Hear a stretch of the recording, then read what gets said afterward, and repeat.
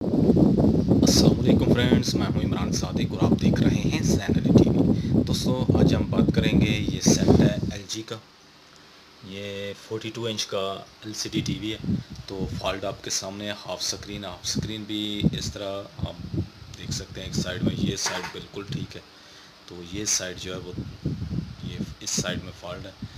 तो ये fault some time कभी पिक्चर आप देख सकते हैं, ठीक नज़र आ जाती है, फिर पिक्चर चली जाती है एक साइड में, ठीक है? तो ये फॉल्ट जो है, ये लगता तो मुझे फॉल्ट टीकोन का भी फॉल्ट हो सकता है बहरहाल ज़्यादातर फॉल्ट ये है, ये आप देख सकते हैं, अभी रुक गई है, ठीक है? तो ये फॉल्ट जो है, ये इसका कफ़ का फॉल्ट भी हो सकता है, ठीक है? तो बहरहाल, ये तो इसको ओपन करने के बाद पता चलेगा कि हर इसमें ये फॉल्ट कहाँ पर है, ठीक है? दोबारा चलो इसको रिमूव कर लेते हैं फिर देखते हैं कि हर इसमें क्या फॉल्ट है। तो जी फ्रेंड्स मैंने इसको ओपन कर लिया, जैसा कि आप देख सकते हैं। तो इसका फॉल्ट जो है, इस कफ़ के अंदर है, ठीक है? ये इसका पैनल है। तो पैनल में यहाँ पे इसका, ये जो कफ़ है, इसके अंदर फॉल्ट है, ठीक है? तो जब हम इसको थोड़ा सा यहाँ से प्रेस करते हैं, इसके ऊपर थोड़ा सा टच करते हैं इसको तो हमारी जो स्क्रीन है, वो ठीक हो जाती है, ठीक है? तो जब हम इसको छोड़ते हैं, कभी ठीक हो जाती है, कभी जब इसके ऊपर थोड़ा सा प्रेस करते हैं, इसको टच करते हैं तो फिर स्क्रीन आधी हो जाती है। तो अभी मैं इसको पावर देने लगा हूँ, पावर दे के चेक करते हैं। तो जी, आप देख सकते हैं इसकी आधी स्क्रीन बिल्कुल ठीक है। तो आधी स्क्रीन में आपको लाइनें नज़र आ रही हैं, ठीक है? इस साइड में आप देख सकते हैं, ये स्क्रीन इसकी बिल्कुल ठीक है, यहाँ पे कफ जो है बिल्कुल ओके हैं। तो इसमें फॉल्ट जो है, ये आप देख सकते हैं, अभी मैंने इसको टच किया तो ये चला गया, ठीक है? तो ये जो, ये कफ़ है इसके अंदर फॉल्ट है, ठीक है? तो सम टाइम ये आप देख सकते हैं। तो जब हम इसको यहाँ से प्रेस करते हैं, कभी ये अभी फॉल्ट चला गया, ये अभी छोड़ा, ठीक है? तो जब, ये अभी मैं इसको यहाँ से प्रेस किया, ठीक है? तो अभी आप देख सकते हैं, फिर हाफ़ स्क्रीन आना शुरू हो चुकी है, ठीक है? तो ये फॉल्ट जो है, इस कफ़ के अंदर है।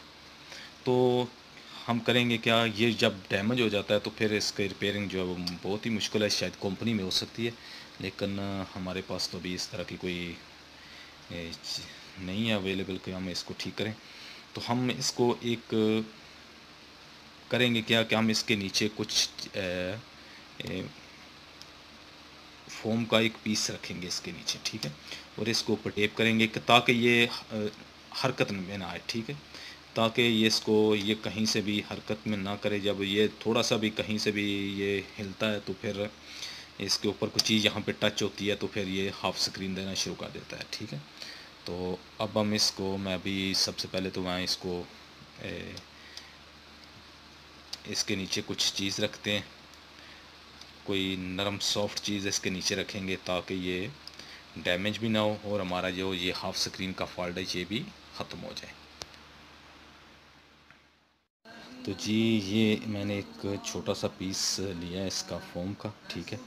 तो अब हम इसको इसके नीचे, यहाँ पे इसके नीचे रख देंगे। इसके नीचे जब यहाँ पे लगा देंगे, फिर इसके बाद ये स्क्रू है। स्क्रू को हम अच्छी तरह से यहाँ पे टाइट कर देंगे। इसके अलावा इसके ऊपर टेप भी करेंगे। यहाँ से जब हम टेप कर देंगे कि कहीं ये लूज़ ना हो, ठीक है? जब लूज़ नहीं होगा तो ये हमारा फॉल्ट ठीक हो जाएगा, ठीक है? तो जब सम टाइम ये लूज़ होता है, हर थोड़ा सा हिलता है तो फिर ये फॉल्ट आता है। तो सबसे पहले तो हम इसको यहाँ पे लगा देते हैं, ठीक है? इस पैनल को ऊपर करके यहाँ पे इस कफ़ के नीचे हम इसको रखेंगे। इस कफ़ के नीचे रखने के बाद इसको ऊपर टेप करेंगे ताकि ये कहीं हल्का सा भी जो है वो हरकत में ना आए, ठीक है? तो फिर अभी देखते हैं। तो जी फ्रेंड्स जैसा कि आप देख सकते हैं, मैंने इसके नीचे एक सॉफ्ट फॉर्म है ये मेरे पास, ठीक है? ये बहुत ही सॉफ्ट है, ठीक है? इसको जितना भी प्रेस करेंगे, ये नीचे बैठ जाता है, ठीक है? तो ये आप देख सकते हैं, मैंने इसका एक पीस काटा है और इसके नीचे रख दिया अब हम अगर यहाँ से प्रेस भी करते हैं, इसको टच करते हैं तो देख सकते हैं हमारी स्क्रीन बिल्कुल ओके ठीक है? अभी हमारा जो फॉल्ट ऑफ़ स्क्रीन का फॉल्ट था, वो नहीं आ रहा, ठीक है? तो हम करेंगे क्या? इसके ऊपर जो इसका कवर है, इसका जो कवर है, इसके ऊपर जो लगता है, वो वो कवर का वो हिस्सा जो यहाँ पे टच करेगा, उसके ऊपर भी ये फोम का एक पीस जो है वो इसके ऊपर भी लगा देंगे, ठीक है? ताकि यो इसको वो नीचे प्रेस रखेगा, ये नीचे से ऊपर प्रेस रखेगा, फिर ये हिलेगा नहीं तो हमारा जो फॉल्ट है वो दोबारा नहीं आएगा इन ठीक है? तो अभी आप देख सकते हैं बिल्कुल स्क्रीन ओके है। ठीक है, आप देख सकते हैं सारी स्क्रीन ओके तो पहले तो हम यहाँ पे इसको थोड़ा सा टच भी करते थे तो हमारी स्क्रीन जो है वो हाफ़ हो जाती थी देख सकते हैं अभी इसको प्रेस करता हूँ मैं, ये नीचे प्रेस किया तो आप देख सकते हैं बिल्कुल स्क्रीन ओके ठीक है. क्योंकि नीचे इसके मैंने वो पीस रख दिया फोम का तो उसने इसको कफ को ऊपर उठा लिया, जो इसका हिस्सा डैमेज था, जो आपस में डिसकनेक्ट हो रहा था, वो अभी कनेक्ट हो गया. तो अभी आप देख सकते हैं सिग्नल पूरे मिल रहे हैं तो स्क्रीन हमारी ओके है तो बहरहाल हम इसको कन्फर्म करने के लिए, इसको मज़ीद बेहतर बनाने के लिए, इसके कवर के नीचे भी एक इसका पीस का टुकड़ा है, जो फोम का टुकड़ा है, वो ऐड करेंगे ताकि वो ऊपर से यहाँ से प्रेस करेगा। इसको नीचे प्रेस करके रखेगा, नीचे वाला ऊपर प्रेस करेगा तो हम कफ़ जो है हिलेगा नहीं। वो कफ़ जो जब हिलेगा नहीं तो हमारा फॉल्ट दोबारा नहीं आएगा।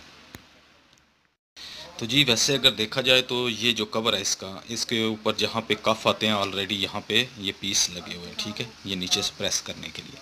ये आप देख सकते हैं सारे के ऊपर ये पीस लगे हुए हैं ठीक है?